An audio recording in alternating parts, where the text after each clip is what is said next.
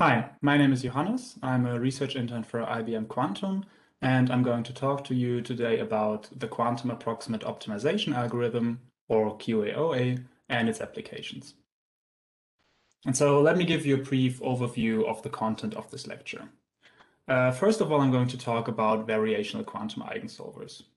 These are variational quantum algorithms that try to approximate the ground state of quantum systems. And we will see later on in the lecture that QAOA can actually be seen as a special case of VQEs. Then in the second part of the talk, I'm going to introduce the kind of problems that QAOA can solve. In particular, these are quadratic unconstrained binary optimization problems, or QUBOs for short. And we will look specifically at one particular kind of problem class, which is called MaxCut. Then in the third section, I'm going to show you how the QAOA circuit actually looks like in detail. In section number four, we will learn about the connection between QAOA and adiabatic quantum computing. And then at the very end, I'll give you a brief overview of recent results and some caveats of the algorithm. Okay, so let's start with the first topic, which are variational quantum eigensolvers. So before we can understand what the VQE does in detail, we need to um, get a few definitions out of the way. So let's talk about Hamiltonians. A Hamiltonian is just an operator corresponding to the total energy of a given quantum system. And it's described by a Hermitian matrix H. Hermitian means that it's just the same as its conjugate transpose. So you might remember that a quantum system in general is always uh, described by a vector in a complex Hilbert space. And we usually denote these vectors in the ket notation, as you can see here. Now, the energy of a system in the state psi uh, is given by the expectation value of that vector psi with respect to the matrix H. So basically what is written here. The ground state of a quantum system is then the lowest energy state. So basically the vector in the Hilbert space for which this expectation value becomes lowest. Okay, with this we can understand the variational method. The variational method is a method for approximating the ground state psi star and the lowest energy E of a quantum system. And it basically consists of two steps. In the first step, we choose an ansatz or trial state parameterized by some parameters theta. And so what you can imagine, instead of looking at the full Hilbert space describing all the possible quantum states, we only look at a subspace of this Hilbert space, which is parameterized by exactly these parameters theta. Then in the second step, what we do is we vary these parameters theta in order to minimize the energy value. So we're trying to find the, optim uh, the parameters theta star for which the energy of our trial state becomes lowest. Now, since the ground state by definition is the um, minimal energy state, any such energy value gives us an upper bound for the actual minimal energy. And furthermore, if we find the parameters theta for which this energy of the trial state becomes lowest, we automatically approximate the ground state psi star.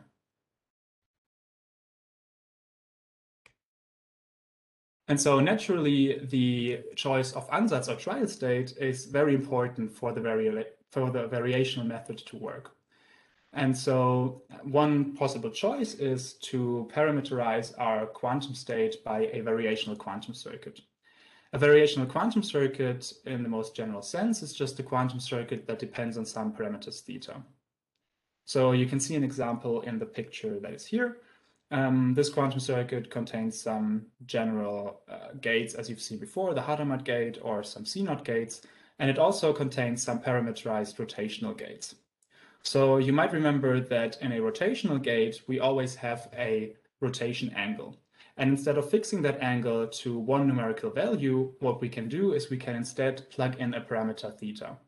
And so in this way, we obtain a quantum circuit that is actually dependent on parameters.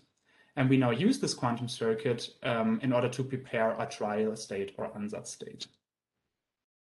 And this is exactly the idea behind variational quantum eigensolvers.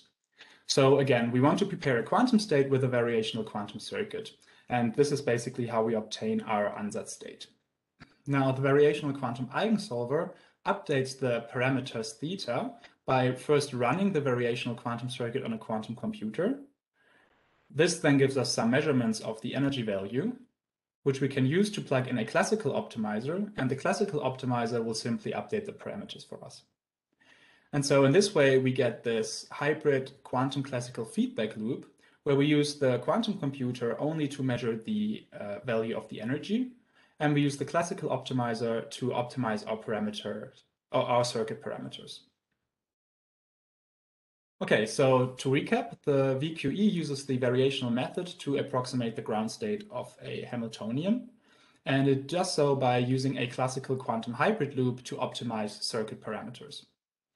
Now, for those of you who are familiar with classical neural networks, you might see that there is some similarity here.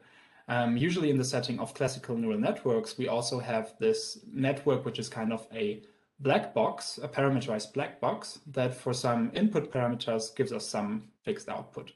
And we use an optimizer to update the, the parameters uh, iteratively. And this is actually exactly the setting of the variational quantum eigensolver, only now the neural network has been replaced by a variational circuit. Now, as I've mentioned before, the choice of our trial state is extremely important for this method to work. And so there are a number of different variational forms out there, but there are some techniques that you will encounter in many of them. Um, for example, layerized or tensor network circuits. And we will actually see that the QAOA is also a layerized variational form.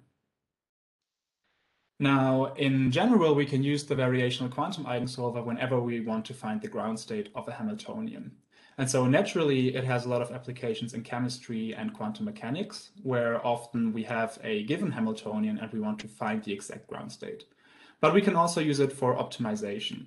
And the idea here is that we, if we have a given optimization problem, we want to encode it as a Hamiltonian uh, such that the ground state actually corresponds to the optimal solution of that problem. And in that way, we can then use the variational quantum eigensolver to find the optimal solution. And this is the idea that's also at the heart of QAOA. This brings us to the kind of problems that we are able to solve with QAOA. These are called quadratic unconstrained binary optimization problems. And so to begin with, let's look at quadratic programs, which are a bit more general. A quadratic program is an optimization problem with a quadratic objective function and linear and quadratic constraints. What this means is that we can write the optimization problem in the form that is written to the right here. So basically, we want to minimize or maximize a quadratic expression. Um, so in this expression here, Q corresponds to a real valued n times n matrix, and C corresponds to a um, real valued vector. And would, we would like to find the vector x, which minimizes this expression. And the variables x might be subject to some constraints, which can be linear, quadratic, or simply um, limiting the range of values that x can take. Now, we are interested in the special case of quadratic unconstrained binary optimization problems, or QUBOs for short.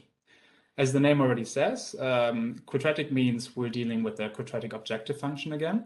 Unconstrained means we don't have any variable constraints, so the constraints that we had in the general case of the quadratic program, um, we can ignore now. And then binary means we're dealing with binary optimization variables. So the vector x can only take values uh, in 0 or 1. Right, and these are exactly the kind of problems that we are going to solve with QAOA. Now, one specific problem class that we can always formulate as QUBOs is the problem class of maxcut. So first of all, for all of you who are not familiar with graph theory, a graph is basically just a set of vertices or nodes V depicted on the right here as blue circles, connected by a set of edges E. So these are the gray lines between the nodes you can see on the right. Um, and these edges can be weighted, so we can assign numeric values to these edges, or it can be unweighted, in which case we just give every edge the weight one. Now, a cut of a graph is simply a partition of the vertices into two disjoint subsets. As an example, consider the picture on the right where we have partitioned the vertices into a set of light blue and dark blue vertices. The weight of a given cut is then simply the weight, the cumulative weight of all the edges that connect vertices from different sets. So again, on the right here, you can see that we marked in red all the edges that connect um, vertices from the different sets. And so in total, these are six edges, and the weight of this cut would simply be six. Right, now in the max cut problem, we are given as input a possibly weighted graph G, and uh, the output we want to get is the maximal cut. Now, if we identify um, each set or that we partition the, the set of vertices in either with the number zero or the number one, then every cut of this graph can be represented by an n-dimensional vector that takes values in zero or one. Uh, you can see an example on the right here. And so what we are dealing with here is a binary optimization problem because we're trying to find the optimal vector x that maximizes our cost function. And in fact, we can always formulate MaxCut problems as QUBO instances. So assume we are given a graph with a given uh, with a specific weight matrix. So this matrix simply includes all the weights of the different edges that are in the graph. Then it turns out that we can write the cost function for the max cut problem as is written down here. So basically the sum over all wij times xi times 1 minus xj. And you can very easily see that this is true since um, in this expression down here, every every edge weight wij only um, only contributes to the sum if and only if xi and xj take different values. And so when we take a look at the cost function, we immediately see that this is a quadratic objective. And we can actually reformulate this in the standard form for QUBOs. And what we get is the general QUBO cost function, where the QUBO matrix is simply the negative weight matrix of the graph. And the QUBO vector C is given as the sum of the rows in the weight matrix. So let me give you an idea of classical limitations in the setting of MaxCut. Um, first of all, we've just seen that any MaxCut instance can be formulated as a QUBO instance. And the reverse is actually also true. Any general QUBO can also be turned into a MaxCut instance by, by introducing a slack variable.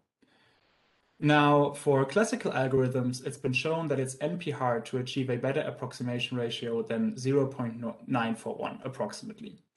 And so what this means is that there exists no classical algorithm that runs in polynomial time which in the worst case gets a solution which is as good as 0.941 um, of the optimal solution. In fact, you can also show uh, a stronger statement, namely that under the unique games conjecture, um, the best classical approximation ratio is approximately 0.878. And actually, there exists a classical algorithm which already achieves this approximation ratio, which is called the Goemans-Williamson algorithm. And this algorithm works by relaxing the problem into a continuous um, variable problem. So instead of allowing binary values 0 and 1, we also allow continuous values ranging anywhere from 0 to 1. And then this actually makes it much easier to solve the problem.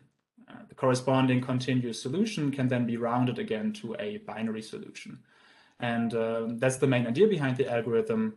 And to date, it gives us the best classical approximation ratio, which is possible under the unique games conjecture.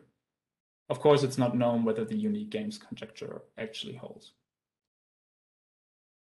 Okay, so we've just seen that any MaxCut instance can be formulated as a QUBO, and I've already told you that QAOA um, is able to solve QUBO instances.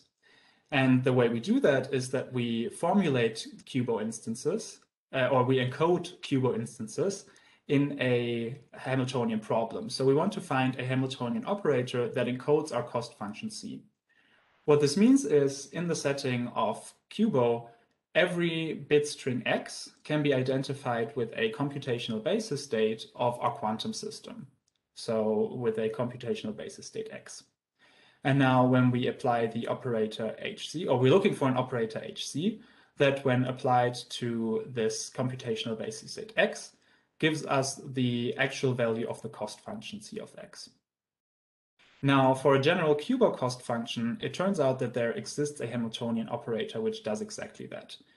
And the expression for this operator is written on the right here, um, but I'm going to show you real quick how we can actually derive at that expression. Okay, so we are trying to find a Hamiltonian HC that will encode our cost function. And to do so, we can use the following relation. If we apply a Pauli Z gate to our computational basis state x, then the outcome of that is either minus 1 if xi is 1 or, uh, or 1 if xi is 0. So in other words, it's minus 1 to the power of xi. We can also re rewrite this as 1 minus 2 xi. But this means if we um, reorder these terms, what we get is that the identity operation minus the Pauli zi operator over 2 applied to the computational basis state x yields xi. And so we can use this relation um, and basically just plug this into the cost function above in order to get our Hamiltonian HC. And so if we do just that,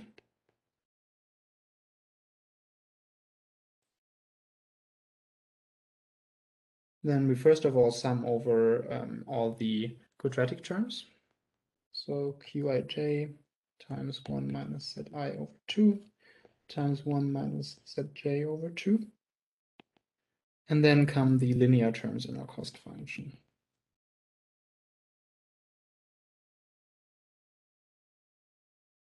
Um, and when I write 1 here, what I mean is the identity operator. Okay, we can expand this. So let's begin by collecting all the constant terms. We get the sum over the qij over 4 from the um, from the first part of the sum here, and we also get a sum over ci over 2. Now let's collect all the terms with single Pauli Z gates. This should actually be a minus, sorry.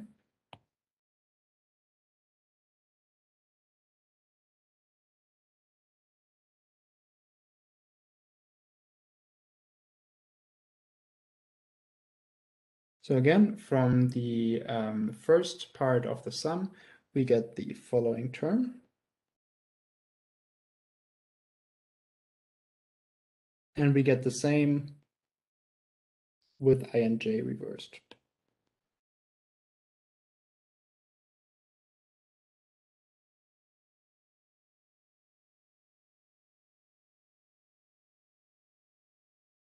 And then last but not least, we also get a term from the linear part of the cost function.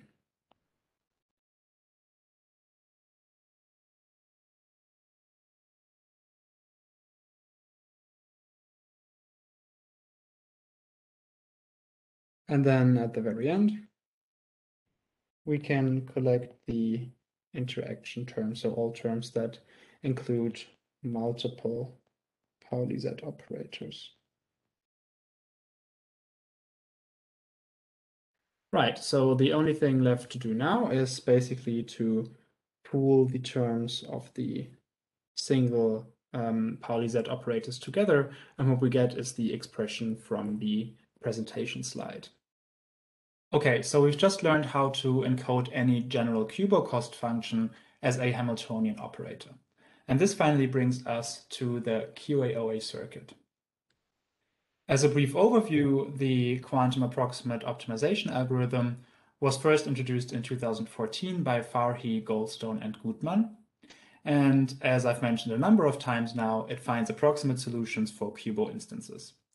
It can be regarded as a special case of the variational quantum eigensolver. And again, as I've mentioned before, the idea is to encode the cost function of an optimization problem as a problem Hamiltonian HC, and then use the variational method to find the ground state of that Hamiltonian, which should correspond to the optimal solution of the optimization problem. Now, the variational form of the QAOA is a layerized quantum circuit, which is based on a trotterized adiabatic process. And if you don't know what these words mean, don't worry about it. I'm going to go into more detail about this in the next section. But first of all, let's look at the QAOA variational form. Okay, so at the very beginning of the variational form, we apply Hadamard gates to every single qubit. What this does it is it basically prepares the um, equal superposition state. So you might recall that if we apply a Hadamard, state, Hadamard gate to a qubit that is in the zero state, it will be put in an equal superposition of the zero and one state. And if we apply single Hadamard gates to all qubits in this line, it basically has the same effect. We create an equal superposition of all possible computational basis states. Then in the next step, we apply p layers of the QAO circuit, where each layer consists of a cost layer, which are depicted here in light blue, and of a mixer layer, which are depicted in purple here. The cost layers are parameterized by parameters that we call gamma, um, and the mixer layers are parameterized by parameters beta. And every cost layer is basically the exponentiation of a of our cost Hamiltonian, whereas the mixer layer is the exponential of a mixer Hamiltonian. And um, I will go into a bit more detail about matrix exp exponentiation and how these um, Hamiltonians look like in the next slides. And then at the very end, we simply measure in the computational basis. And so this is the high-level overview for the QAOA variational form. Okay, so to understand the uh, different layers of the QAOA circuit, we need to know a little bit about matrix exponentiation. And so really all you need to know here is that for a given matrix, we can also define its exponential. And this is done analogously to the um, standard exponential function with a series. And um, what's important for us now is that if we take the Pauli matrices x, y, and z, um, and we exponentiate them, what we obtain are basically the corresponding rotational gates. So if we exponentiate the Pauli X matrix um, with a prefactor of minus i and some parameter theta, then what we get is the rotational X gate with rotation angle 2 times theta. And the same holds for the Pauli Y matrix and the Pauli Z matrix.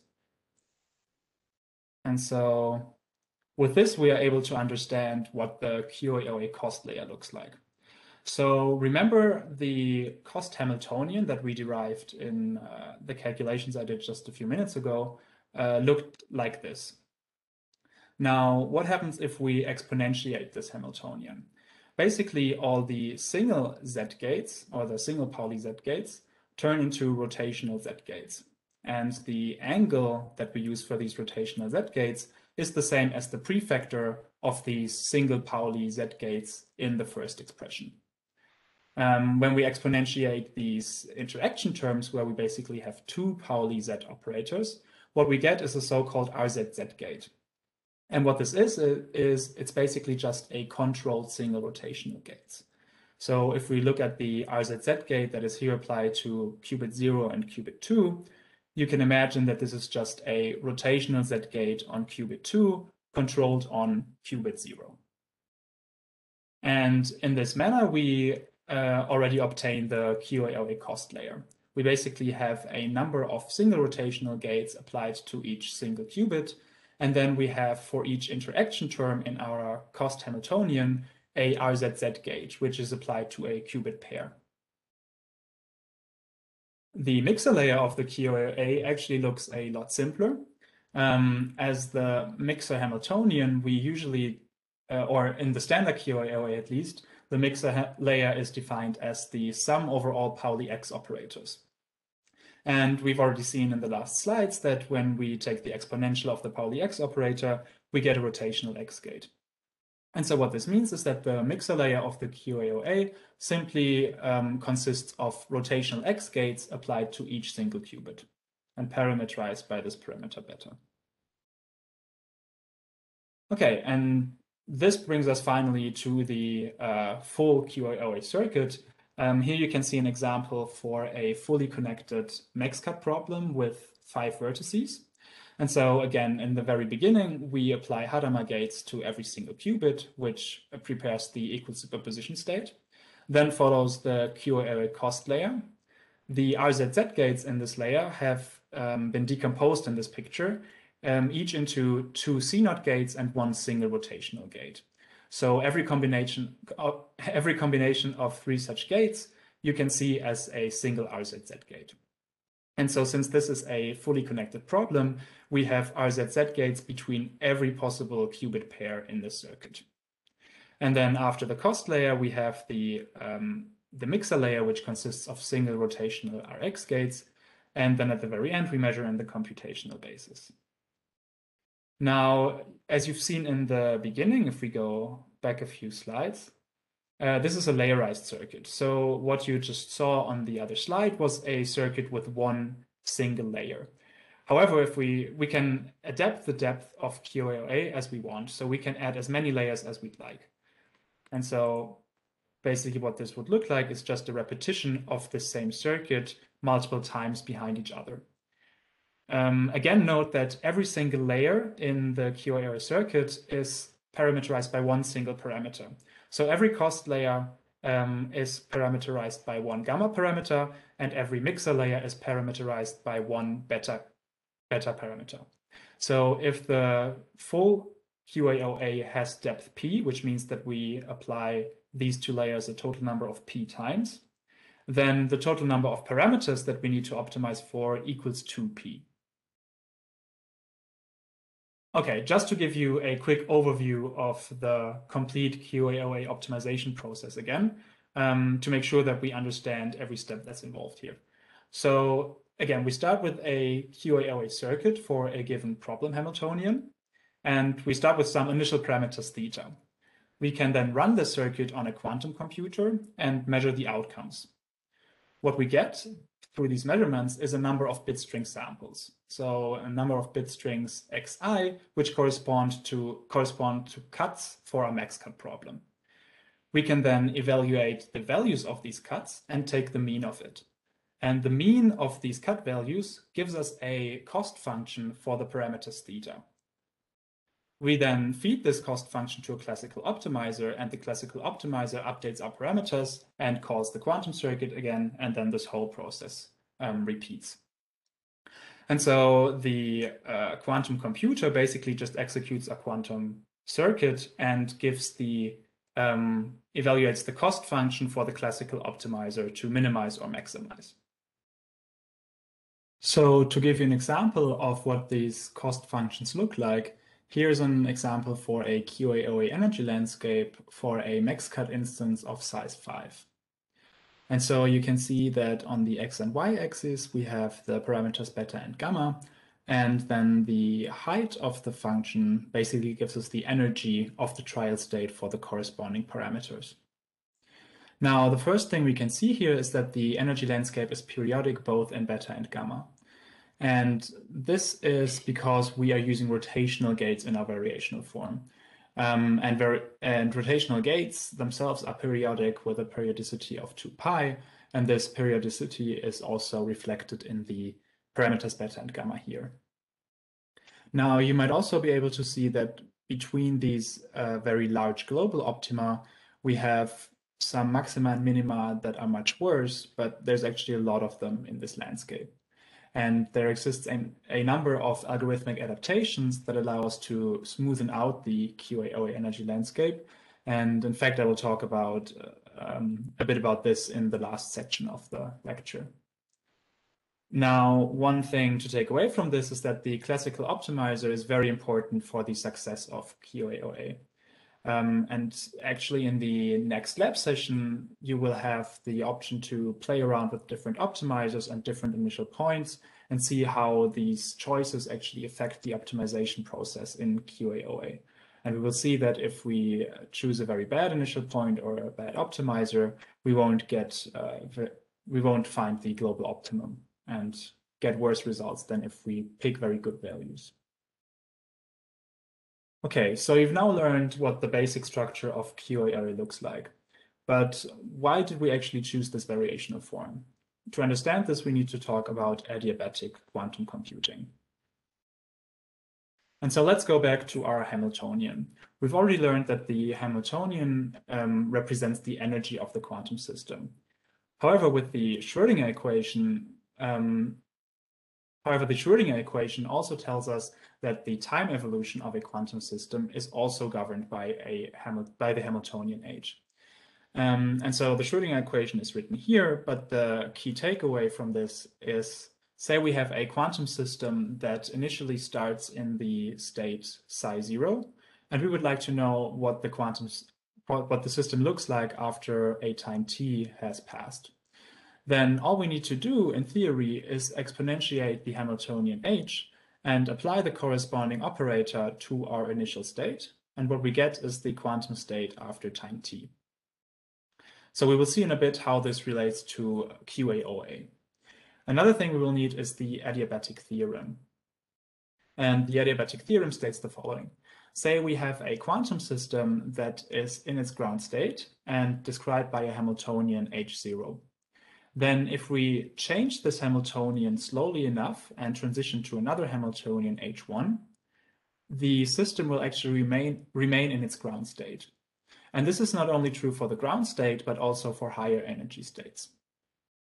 So you can imagine uh, a system starting with a very simple Hamiltonian H0, uh, and the system being in the ground state, and then slowly transitioning from this simple Hamiltonian to a more complicated one.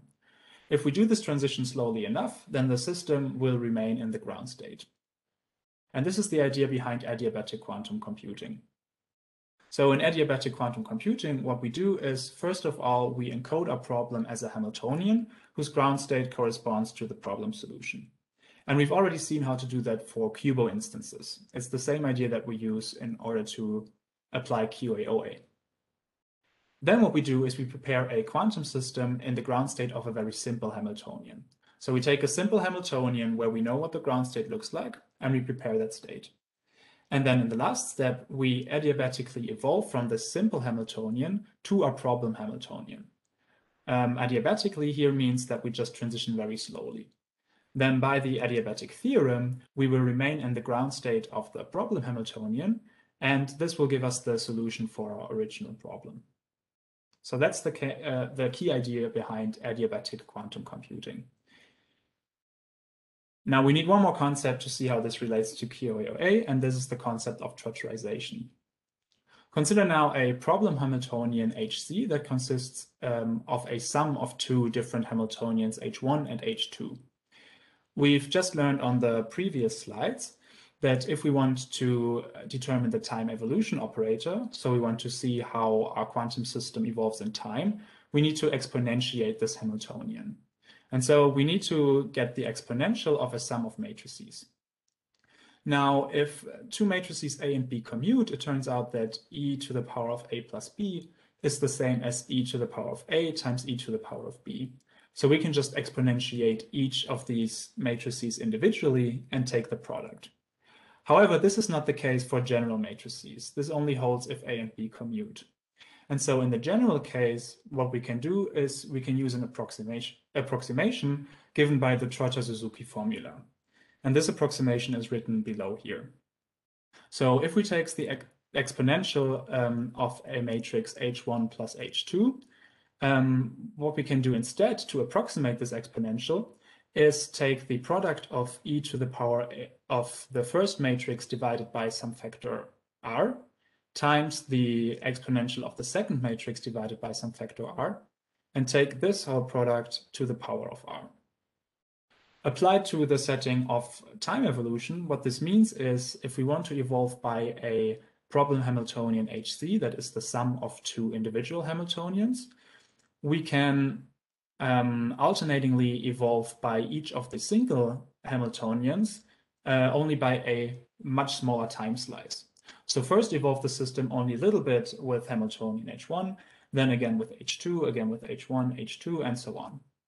And by following this procedure, we eventually approximate the time evolution by the uh, sum of these operators, where the approximation is better the higher we choose um, we choose this vector r to be. So the more slices of um, individual time evolutions we apply.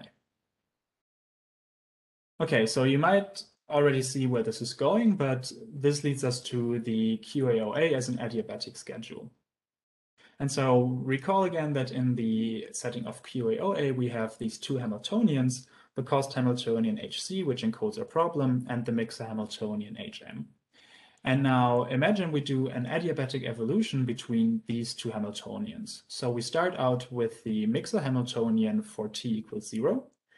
And as t grows larger and eventually reaches um, this runtime large T, we end up in the cost Hamiltonian HC. Now, if we do this transition slowly enough in an adiabatic, uh, in an adiabatic way, um, and we start in the ground state of the mixer Hamiltonian, we know that we will end up in the ground state of the cost Hamiltonian. And the same is also true for higher energy states. Now, it turns out that the individual layers of QAOA actually correspond to trotterized segments of the time evolution operator for this adiabatic evolution. Furthermore, if we um, take a look at the initial state that we start in, in the QAOA, uh, recall that this is the equal superposition state. And also recall that the mixer Hamiltonian is um, usually chosen as the sum of Pauli X operators. Now, if we take a look at the eigenvectors of uh, the Pauli X matrix, one of them is the equal superposition state. And it turns out that the initial QAOA state is actually the highest energy state of our mixer Hamiltonian. And so we start out in the highest energy state of the mixer Hamiltonian, and we basically follow a trotterized version of the quantum adiabatic schedule, which leaves us at the very end in a very high energy state of our cost Hamiltonian. Now we have to be a bit careful here because previously I said we're trying to approximate the ground state of HC uh, instead of the highest energy state. But in fact, this is um, this corresponds simply to a change of sign in HC. And so by viewing the QAOA as an adiabatic schedule, we actually get a performance guarantee in the limit of p to infinity. So first of all, um, if we denote by MP, the best possible value that our QAOA, QAOA circuit um, can obtain at depth p, then we know that the value for a deeper QAOA circuit is always at least as good as the value of a less deep QAOA circuit. And the reason for this is that by increasing the depth of QAOA, we only increase the subspace of the um, of the Hilbert space that our trial state lives in. And so we, if we actually find the global optimum for a deeper QAOA circuit, it is always guaranteed to give us a better energy value than the um, optimal at a lower depth. And then furthermore, with the um, adiabatic theorem, we also get the guarantee that in the limit for p to infinity, we will obtain the best value for our optimization problem. Now, this gives us some idea as to why the QAOA variational form was chosen as it is, and also why it might produce good results. But it's important to keep in mind here that this is only a performance guarantee in the infinite limit of p and we don't have any guarantee for a finite p.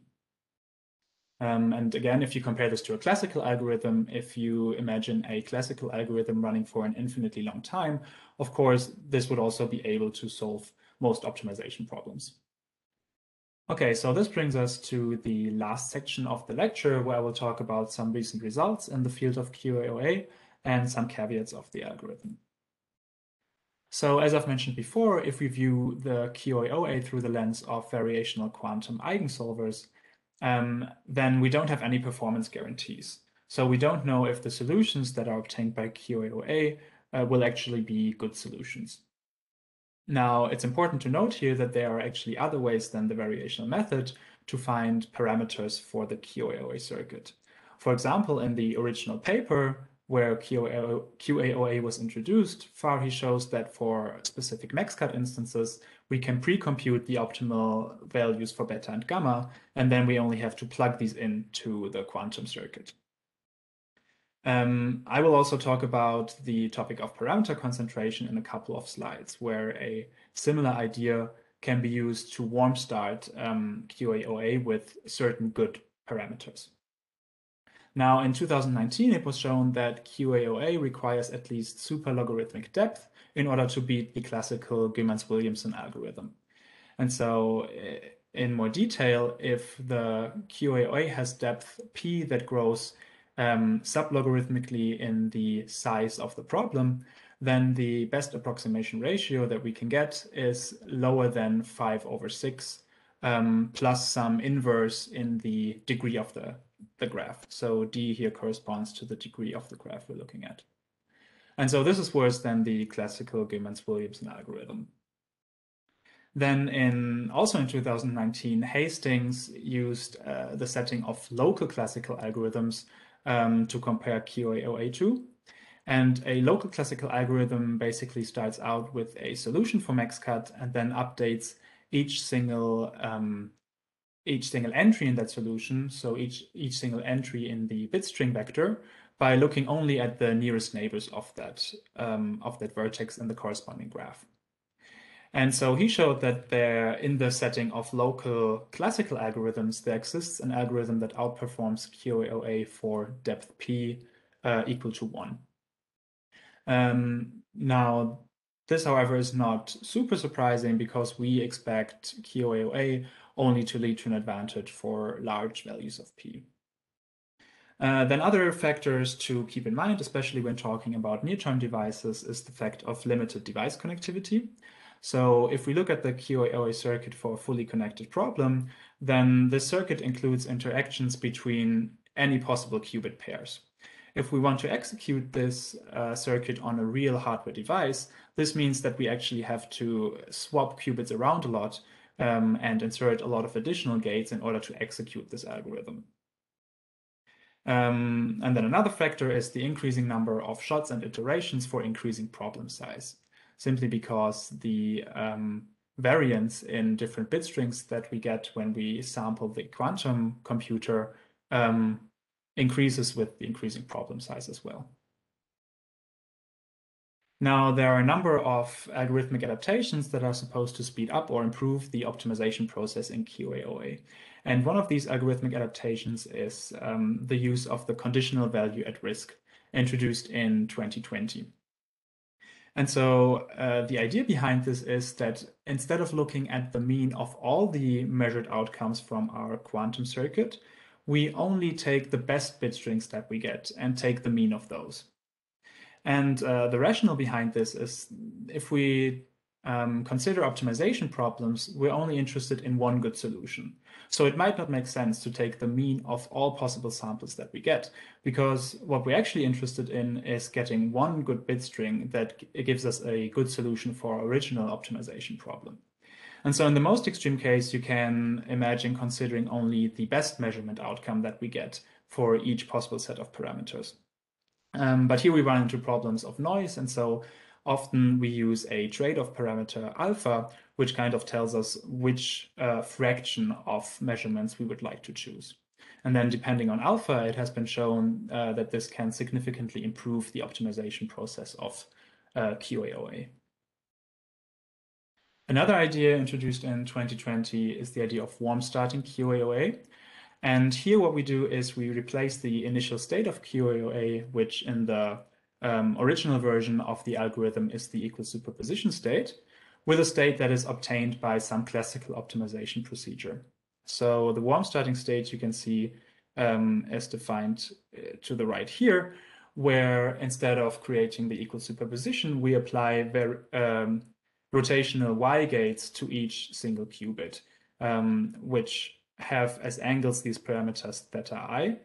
And these angles correspond to the solution um, of a continuous val valued relaxation of our problem instance. So if you recall how the Goemans-Williamson algorithm works, um, we first obtain a continuous valued solution for the same problem, and then we round this to binary values. And uh, in a similar vein, what we do here is we take this continuous uh, continuous valued solution, which is very easy to obtain using classical optimizers, and we only use it to improve the initial state of our QAOA. And so we kind of give QAOA a head start by producing a state that is already close to um, a high energy state. Right, if we do this, we also have to replace the mixer Hamiltonian though, um, because we want to keep the initial state as the ground state or highest energy um, value state of the uh, mixer Hamiltonian. Okay, then uh, last but not least, I want to talk about parameter concentration. And it has been shown in multiple studies by now that the optimal parameters for QAOA concentrate over different problem instances. So if we take a look at a set of different Maxcut problems, for example, it turns out that the optimal parameters for the corresponding QAOA circuits do not differ very much. And so in 2020, it was shown that for the Sherrington-Kirkpatrick model, which is a model of fully connected graphs, if we take a look at the um, infinite size limit, it turns out that the uh, QAOA becomes fully instance independent, or the optimal parameters rather become fully instance independent. So what this means is that the optimal parameters are the same no matter which problem instance we're looking at in the infinite size limit. Furthermore, in 2021, it has also been shown that um, parameters concentrate across problems of different problem size. And so these findings give rise to new optimization techniques for QAOA because what we can do is if parameters concentrate, we can use the optimal parameters we obtain for one problem instance and use them as starting values for the optimization process of another problem instance. Additionally, um, with the second result, um, where it was shown that parameter concentrate across problems of different problem size, we can also find optimal parameters for large problem instances by initially focusing on only a smaller subproblem of this problem. Okay, so I hope I was able to give you a good overview of some of the recent results in this field. Um, and then with the complete lecture, also a good introduction to QAOA in general. Um, and I hope to see you in the next lab session where you will be able to try out these things yourself and basically solve optimization problems yourself using the QAOA as implemented in Qiskit.